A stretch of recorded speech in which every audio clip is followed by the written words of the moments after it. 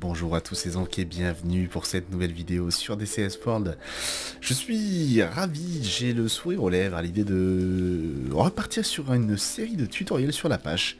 Enfin un peu de contenu après 10 mois totalement inexistants sur Hornet puisque la dernière mise à jour euh, un petit peu correcte date de, euh, avril ou mai 2021, donc ça fait quand même un bon 10 mois euh, d'attente et et de néant.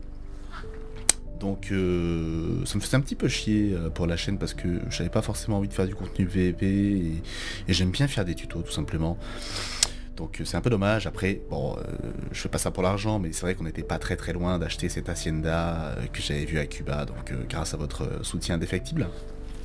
Néanmoins, toutes les entrées mis de côté, je suis très très content de vous retrouver pour la page pour une série qui sera euh, entièrement consacrée à cet appareil, on va aller step by step. Euh, on l'a un peu essayé, il est compliqué.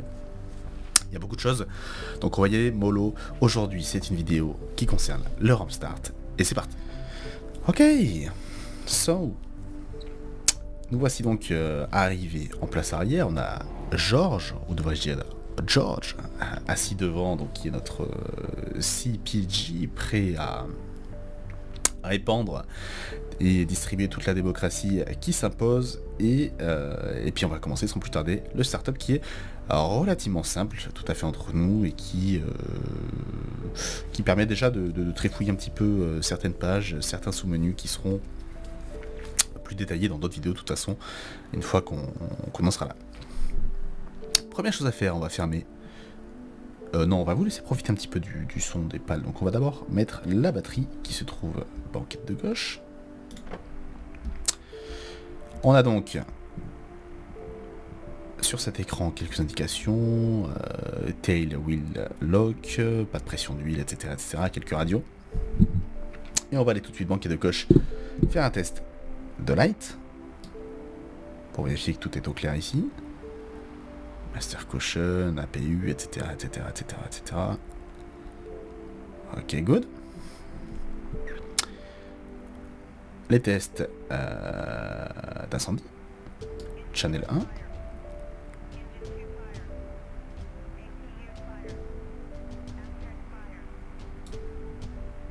Canal 2.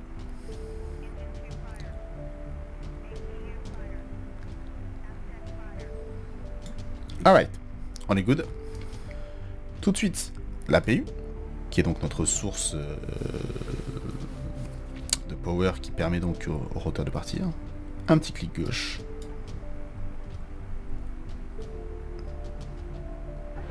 Et on entend qu'il part doucement. Je vais probablement fermer la vitre maintenant, euh, de sorte à ce qu'on soit pas tout à fait... Euh, que ce soit pas complètement inaudible. Hop, George fait de même. On est assez bien insonorisé vis-à-vis de son départ, il avait fait un petit peu de bruit. Donc, on va pas traîner. Avant démarrage, on peut également s'assurer qu'on a bien le parking brake enclenché et le rotor brake, je vais un petit peu dessus, sur, sur off.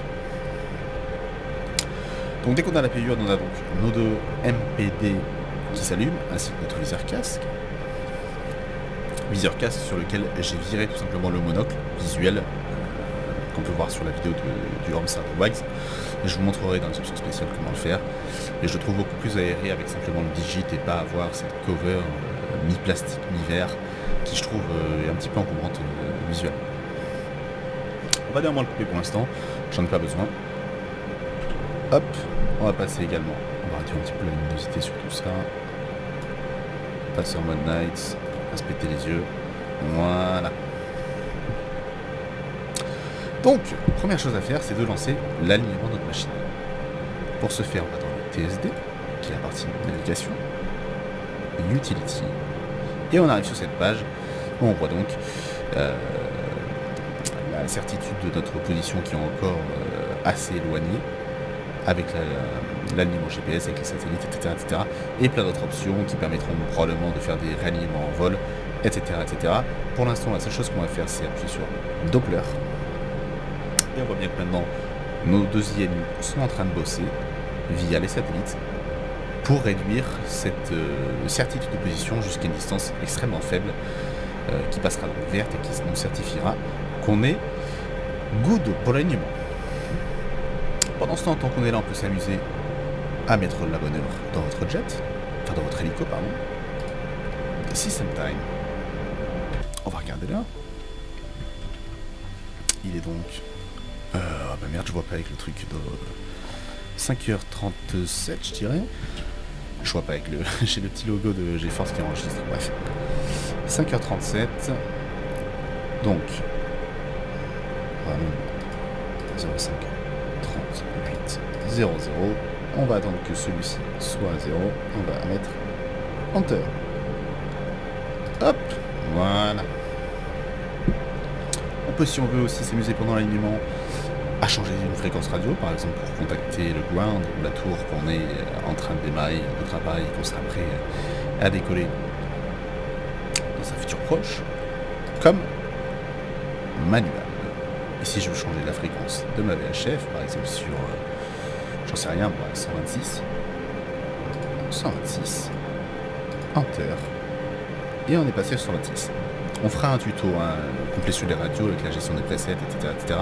Simplement là, je vous rajoute ça dans le ROM Start, qui peut donc servir euh, en serveur multi notamment. On va reset dans Master Cushion, qui ne sert à rien. Et on va même aller un petit peu plus loin. On va aller dans Menu, DMS, WCA. Et là, on voit toute la liste de nos Master Cushion euh, et pourquoi ils sont déclenchés. Donc on va les reset qui restent là, mais ne sont néanmoins plus en surveillance, ce qui permet de faire le tri entre ceux qu'on a déjà traités et les nouveaux qui sont ressortis entre temps.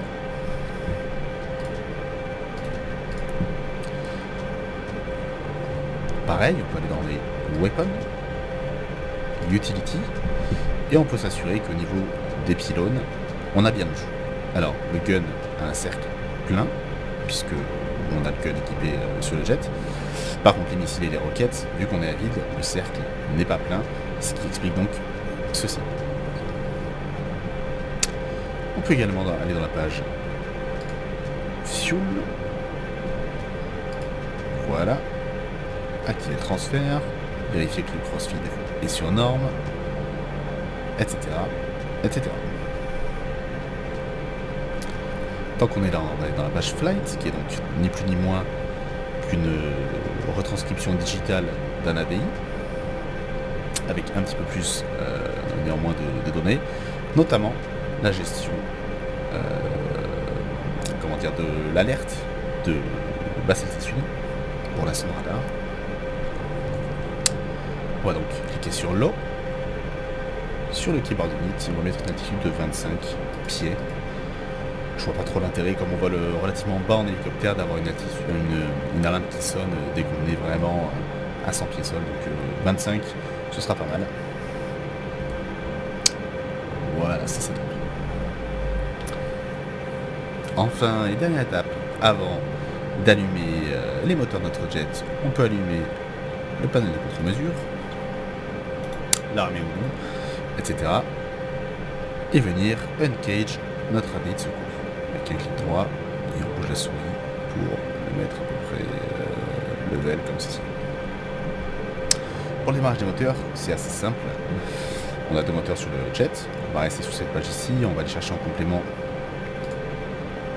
euh, la page système qui sera là. Vous allez comprendre pourquoi. Du coup, moteur 1, on a bien le moteur break qui est off. Et on va tout simplement lancer le moteur 1 avec un appui sur ce switch.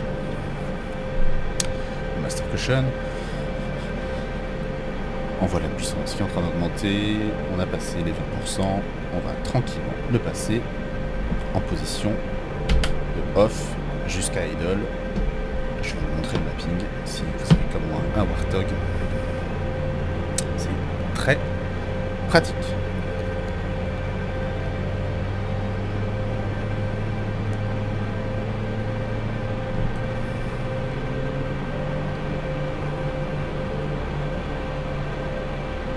On a qui est relativement stable, on va lancer le second. Qui passe sur on.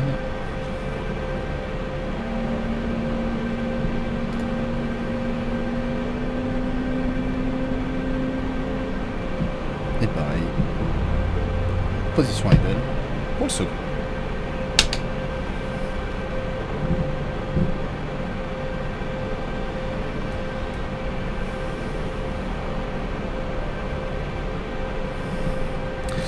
Du coup, maintenant, on regarde la page système et on va surtout regarder la pression d'huile. Et pour passer, euh, si vous voulez, là, nos rotors tournent, mais on n'est pas du tout à une vitesse de rotation suffisante pour permettre à l'hélico de décoller. Donc, ce qu'il va falloir faire, c'est passer maintenant les manettes en mode fly, pour être euh, tout simplement flight ready. Et on attend donc que le moteur 1 et 2 ait une pression d'huile inférieure à 70. Donc on va attendre gentiment que ça, que ça se fasse. Et à ce moment-là, on pourra pousser une manette.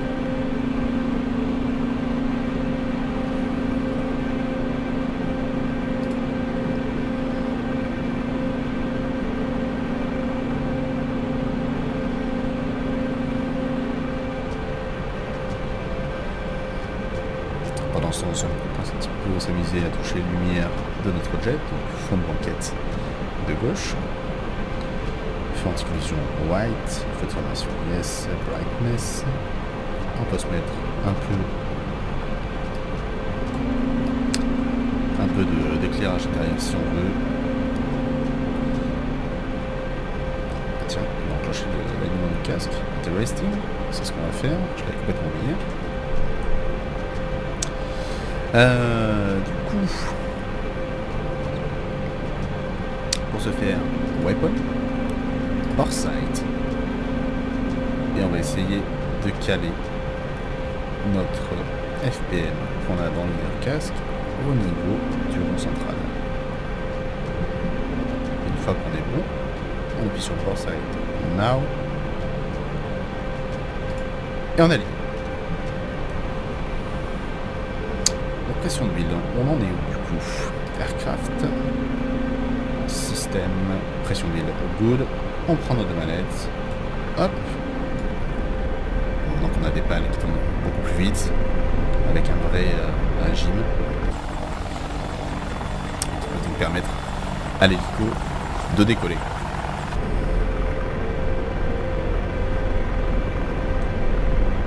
Reset la master cushion. Couper la PU qui fait un bruit enfer. Et on est fin prêt cas en psat assez euh, facile en soi. Hein. vraiment, tout dépend de la mission que vous avez à faire en fait. Puisque pendant l'alignement, euh, là on a simplement fait un alignement du casque, on a checké nos trois trucs sur le fuel, euh, qu'on avait bien le sur les pylônes, on a changé de radio, etc. Maintenant, si vous avez une navigation aboutie à faire, c'est toutes, ces choses-là qu'il faudra faire en plus. La gestion de vos séquences de waypoint, etc voir le paramétrage complet de l'armement, euh, des roquettes, des alpha etc., etc. Sans parler également du euh, paramétrage de notre CPG, donc George, euh, en IA, dans le cas d'une IA, et puis ce serait de toute façon beaucoup plus fun avec un humain, c'est vraiment le multicrew, quelque chose que je conseille en binôme. Binôme humain, pour que ce soit beaucoup plus vivant, beaucoup plus réactif et beaucoup plus chouette. On va passer sur notre écran de navigation, on va passer en satellite. Ici, en aircraft, flight, et on est good. Mon côté, je vais continuer de bosser tout ça, histoire de vous sortir des tutos euh, un peu qualitatifs quand même. J'espère que cette vidéo du Ramsar vous aura un petit peu aidé à comprendre deux, trois choses.